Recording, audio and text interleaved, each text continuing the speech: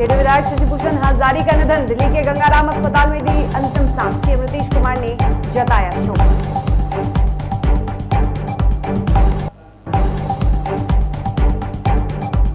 बिहार सरकार ने विभिन्न विभागों में 115 अधिकारियों का किया तबादला। जून के आखिरी दिन लिया गया फैसला। कई अधिकारियों को मिली अतिरिक्त प्रभार।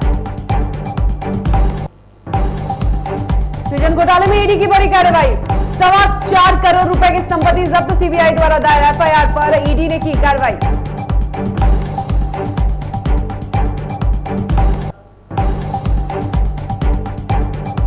पंचायत चुनाव को लेकर राज्य निर्वाचन आयोग का निर्देश। अब नए सरकारी भवनों में भी बनेंगे पोलिंग बूथ। देश में बढ़ती महँगाई को लेकर सीपीआईएम ने रोहतास इकाई में किया प्रदर्शन। इस दौरान काराकाट विधायक अरुण कुमार के नेतृत्व में सरकार के खिलाफ हुई जमकर नारेबाजी।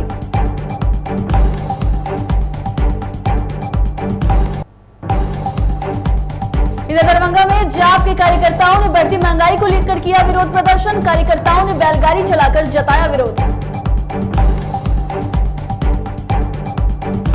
जहानाबाद रेलवे स्टेशन से उत्तर करोना। हॉल्ट पर पलामू एक्सप्रेस ट्रेन और ट्रक में टक्कर। इस दुर्घटना में ट्रक और ट्रक के उड़े पर खच्चे ट्रक ड्राइवर मौके से फरार।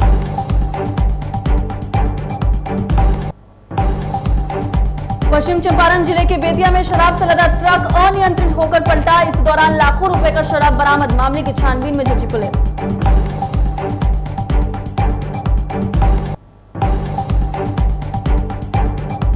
नालंदा ज़िले में पुलिस ने कार्रवाई करते हुए एक ट्रक से भारी मात्रा में शराब किया बरामद इस दौरान ट्रक चालक भागने में रहा सफल। कैमूर के बबुआ में चार चोरों को ग्रामीणों ने पकड़कर पुलिस को सौंपा कंस्ट्रक्शन गोदाम में। जेसीबी की कर रहे थे चोरी। सीतामढ़ी के प्राथमिक स्वास्थ्य केंद्र बीडीओ की अध्यक्षता में परिवार नियोजन के लिए बैठक का आयोजन। बैठक में परिवार नियोजन पर की गई विस्तृत चर्चा। बेतिया के नरकदियागंज में त्रिवेणी कैनाल का बाँध टूट जाने से भारी नुकसान, आधा दर्जन गाँव में घुसा नहर का पानी। सुरक्षित स्थानों के लिए पलायन कर रहे लोग।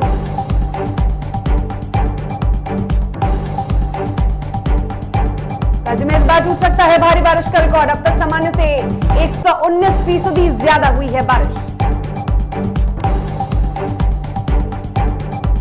धनबाद में 2000 की जाली नोटों के साथ एक व्यक्ति हुआ गिरफ़्तार। आरोपी द्वारा क्षेत्र में चलाया जा रहा नकली नोट फ़िलहाल पूछताछ कर रही पुलिस। धनबाद में हाईवा और मोटरसाइकिल में जोरदार चक्कर मौके पर ही मोटरसाइकिल सवार की मौत पुलिस ने हाईवा किया जब्त। धनबाद में अचानक हुई तेज आंधी और बारिश से सड़क पर गिरा पेड़ मुख्य मार्ग का आवागमन हुआ।